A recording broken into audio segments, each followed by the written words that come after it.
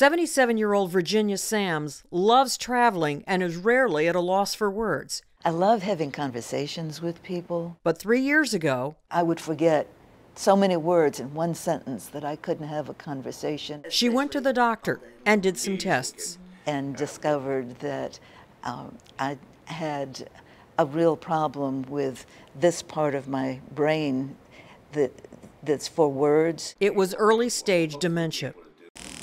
Now researchers are looking to see if they can rewire the brains of Alzheimer's patients with flickering lights and sound. Previous studies have shown the treatment to be effective in mice. Based on the mouse studies, we do see things like we can um, reduce plaques in animals. Toxic plaques that are the cornerstone of Alzheimer's disease.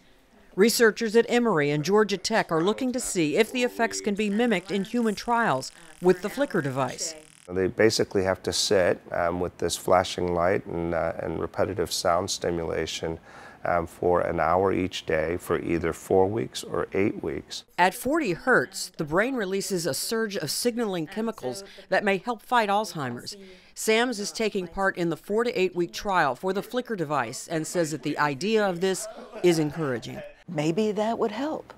So why not try that? I'm Marty Salt reporting.